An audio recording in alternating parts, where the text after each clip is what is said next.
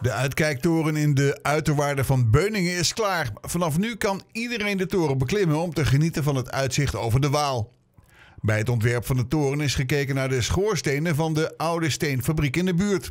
Ook met de vleermuizen is rekening gehouden. Er zijn sleuven gemaakt waar ze in terecht kunnen.